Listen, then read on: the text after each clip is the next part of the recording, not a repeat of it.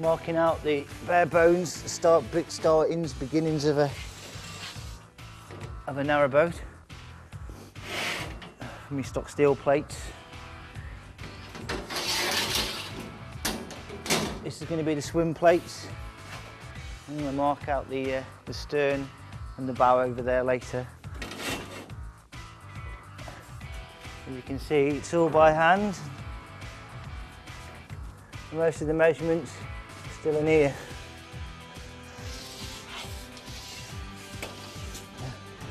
Yeah, this is the first day and hopefully in four weeks time we'll have a finished article, or steelwork wise, which is what we're doing. So Andrew and BCBM is, uh, is just the steelwork.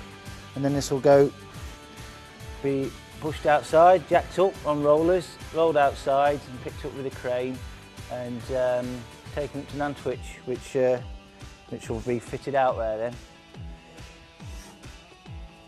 So uh, yeah, four weeks for definite. Hopefully a bit sooner, but it takes what it takes. I don't rush it.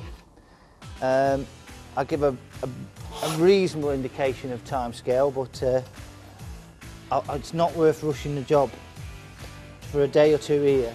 As you can see, these templates are old. Is what I've uh, arrived at over many years. Fettling them, altering them, and uh, finally coming up with a design I'm very happy with. And we've got that's your front canted deck area. That's your gas locker.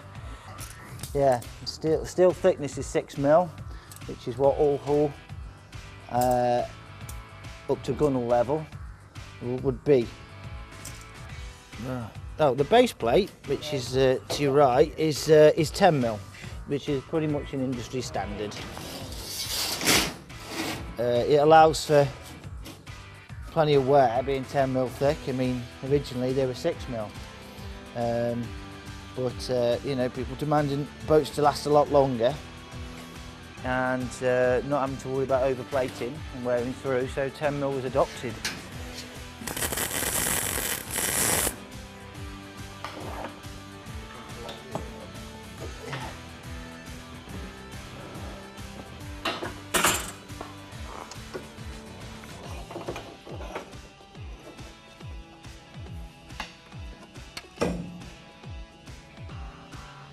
Okay,